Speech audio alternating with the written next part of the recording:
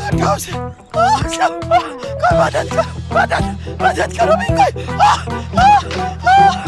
मदद करो क्या हो गया?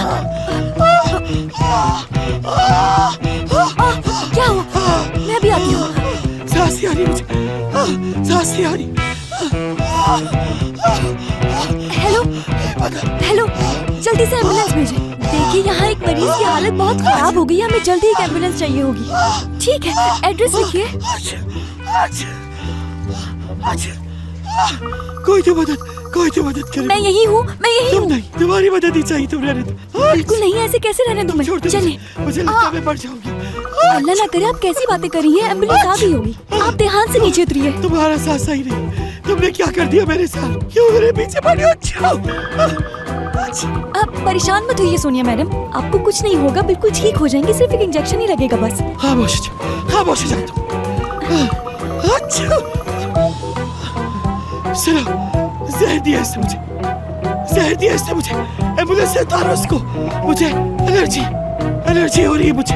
प्लीज़ आप ज़्यादा ना बोले और सांस लेने की कोशिश करें। सोनिया मैडम किसी को ऐसे कहना कि इसे बाहर निकाल दे कोई अच्छी बात थोड़ी होती है। मैंने तो वो फूल आपको खुश करने के लिए खरीदे थे। मुझे क्या पता था कि फूलों से आपको एलर्जी हो जाती है। पीछे आ जाओ। हाथ मत लगाओ मुझे। हाथ मत लगाओ। ठीक है नहीं लगाती मैं। यकीन कीजिए आप बिल्कुल ठीक हो जाएँगे। बस थोड़ी देर में हम हॉस्पिटल पहुँचने वाले हैं। अच्छा। डॉक्टर सिनान आज सुबह जो मरीज़ हॉस्पिटल आया था ये उसकी ब्लड टेस्ट रिपोर्ट है। डॉक्टर? हाँ? एंबुलेंस आई है लगता है मरीज़ की तबीयत बहुत खराब है जल्दी चले। हाँ चलो।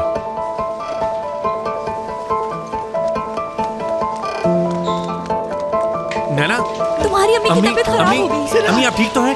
ये लड़की की मुझे नैना क्या हुआ है?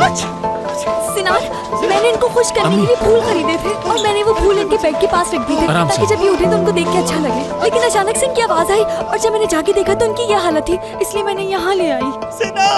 अम्मी मैं आ रहा हूँ आ रहा हूँ। मैं तो बस इन्हें खुश करना चाहती थी लेकिन मुझे क्या पता था कि ये सब हो जाएगा।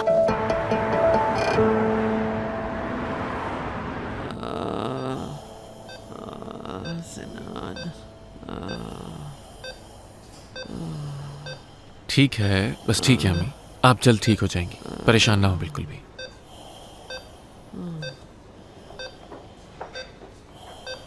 कैसी हैं आप? सिरा हटाओ। भेजो उसको। बाहर निकालो। बाहर निकालो उसको। अच्छा अम्मी आराम से। आराम से प्लीज़ आराम से। अम्मी आप प्लीज़ पुरसुकून हो जाए कुछ नहीं हो। अम्मी परेशान ना हो सांस ले। आराम से आराम से। अम्मी हौसला करें हौसला करें आराम से कुछ नहीं होगा पुरसुकून हो जाए गहरी गहरी साँसें साँसें लें शाबाश। बिल्कुल ऐसे। आराम से। पुरसुकून हो जाए सुमैया, आप इनके पास ही रहिएगा, मैं जरा भी आता हूँ। ठीक है, डॉक्टर, मैं यही हूँ।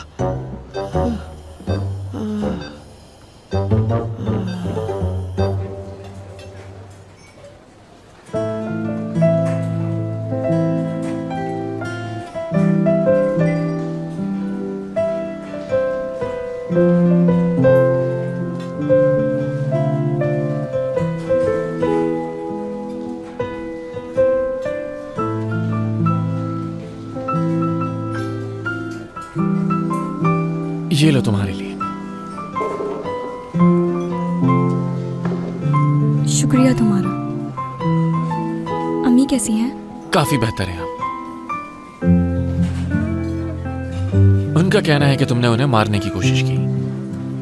यार मैंने तो ऐसा कुछ भी नहीं किया मैं तो बस उन्हें खुश करना चाहती थी। नैना मैं जानता हूँ। सच कह रहे हो तुम? हाँ बिल्कुल। अब मुझे क्या पता था कि फूलों से एलर्जी है उन्हें? मेरी जान उदास मत हो। कैसे उदास ना हूँ सनान मैं कैसे ना हूँ? अब तो वो और नफरत करने लगेंगी मुझसे। नफरत तो नहीं कह सकते लेकिन गुस्सा ज़रूर है तुम पर वो। उफ, हमेशा मेरे साथ ही ऐसा क्यों होता है? नैना अच्छा होगा अगर हम इस मामले को आराम से लेकर चले मतलब उन्हें ज़बरदस्ती प्यार करने पर मजबूर नहीं कर सकते। हाँ मगर अच्छा देखो मैं हूँ ना तुम्हारे साथ मैं तुम्हारी मदद करूँगा ना तुम क्यों इतना परेशान हो रही हो? देखना वो खुद से एक दिन तुम्हारी तरफ़ माइल हो जाएँगी। पक्का बताओ मुझे? हाँ बिल्कुल पक्का। आई तुम कितने अच्छे हो सिनान। चले तो नहीं ना तुम? नहीं नहीं नैना वैसे भी हमें तो इसकी आदत है कभी चाय गिराना कभी कॉफ़ी। अच्छा चलो अब चले यहाँ से। चलो। बस अब तुम परेशान एक मिनट मेरा बैग रह गया। और कुछ? कुछ नहीं। बाहर जाऊँ मैं? नहीं यहीं रुको। ठीक है अगर तुम कह रहे हो तो मैं यहीं खड़ी रहती हूँ।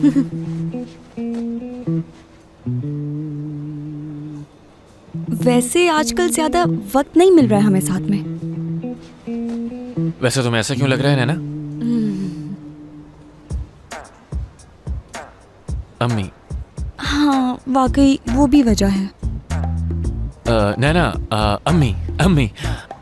आ, ओ, वो मैं सोनिया मैडम। हुआ कुछ यूँ है कि सिनान अ, मेरा मतलब है कि डॉक्टर सिनान इनकी शर्ट पे चाय गिर गई थी इसलिए वो चेंज कर रहे थे। और मुझे अपना कुछ ज़रूरी सामान लेना था इसलिए मैं यहाँ आ गई। और मेरा यकीन कीजिए मैंने तो उनकी तरफ़ देखा तक नहीं। मर्दों को इस तरह देखना तो बिल्कुल अच्छा नहीं लगता मुझे। क्यों अच्छा नहीं लगता तुम्हें? ज़रूर कोई नफसियाती मसला है तुम्हारे साथ नहीं तो? मुझे तो ऐसा ही लगता है।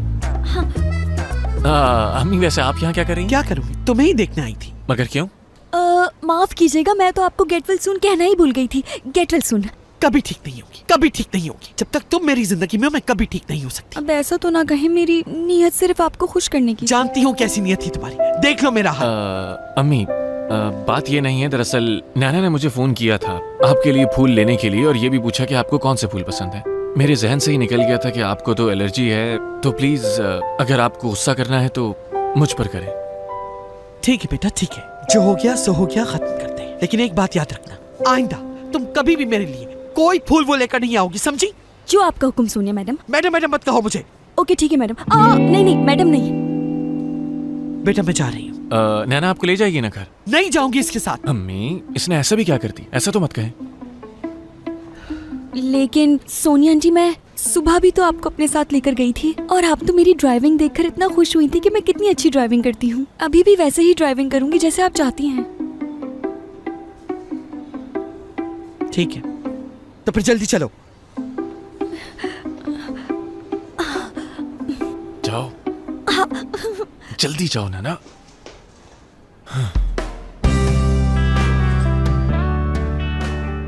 कुछ ही दिन पहले की बात है कि मैंने एक बहुत ही खतरनाक मुजरिम पकड़ा। जैसे ही मैंने उसे देखा मैंने एक सेकंड में चित कर दिया। देखा था तुमने? नहीं।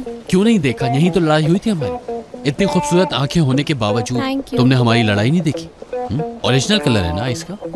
वेरी प्रिटी अगर तुम चाहो तो मैं तुम्हें सेल्फ डिफेंस की ट्रेनिंग भी दे सकता हूँ और सॉरी डॉक्टर okay. अरे डॉक्टर क्या कर रहे हो? मेरी थोड़ी बहुत इज़्ज़त है यहाँ पर। मैं एक सिक्योरिटी ऑफिसर हूँ। नैना उदास है बहुत। तुमने क्या किया? उसे धोखा दिया है या उसके साथ ब्रेकअप कर लिया? आबिद फजूल बातें मत करो। लंबी कहानी है बाद में बताऊँगा तुम्हें।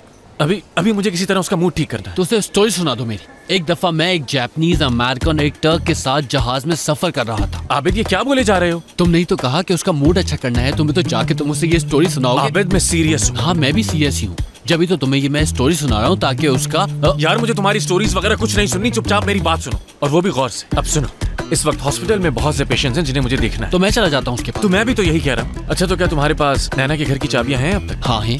ज़बरदस्त। अब जरा गौर से सुनो। एक परफ्यूम है जो नैना को काफ़ी अरसे से खरीदा था। ठीक है मैं जाता हूँ उसके घर और परफ्यूम ढूंढता हूँ और उसको वो गिफ्ट कर दे यार अभी पाँच मिनट चुप होकर मेरी बात सुन सकते हो? मैं ढूंढ चुका हूँ मुझे पता है कि वो परफ्यूम कहाँ से मिलेगी। तुम्हें सिर्फ़ इतना करना है बस जाके खरीदनी है हाँ बिल्कुल और? और फिर जाके उसे अच्छा सा पैक कराना है और फिर जाके उसके घर के सामने रख देना है। घर के सामने क्यों? गली में ही रख देना ना? आबिद बात सुनो मेरी। तुम घर का दरवाज़ा खोलकर अंदर जाओगे और उसके बेडरूम की साइड टेबल पर रख दोगे समझ? आए साइड टेबल हो या घर का दरवाज़ा मैं कहीं पे भी रखूँ क्या फ़र्क पड़ता है यार? कोई फ़र्क नहीं पड़ता तो यार जैसा कह रहा हूँ वैसा अच्छा ठीक है तुम इस काम के कितने पैसे दोगे मुझे ये बताओ। क्या?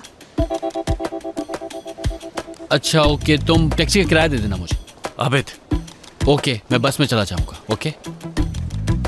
अच्छा ठीक है पैदल चला जाऊँगा मैं। मैं यूनिफॉर्म चेंज करके आता हूँ जब तक तुम पैसे निकाल के रखना फिर देखना जो तुमने कहा है मैं वैसे ही करूँगा ओके?